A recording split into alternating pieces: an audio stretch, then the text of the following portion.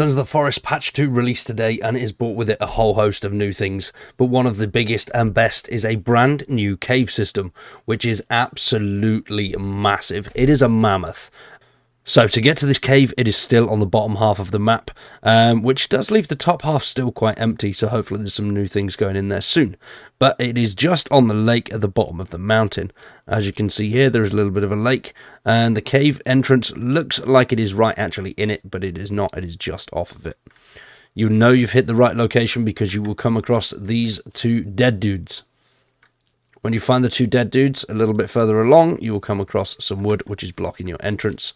But bear in mind, this cave is absolutely massive. It is the biggest cave system that we've seen yet.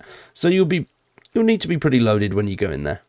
Thanks for watching, I hope it's helped. If it has, please drop a like on the video, subscribe to the channel, and if you want to support us a little bit further, consider becoming a member.